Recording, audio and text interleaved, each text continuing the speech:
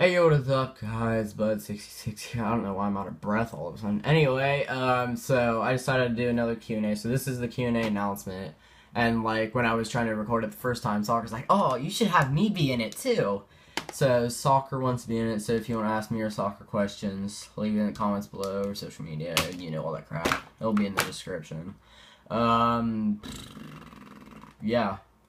Bye.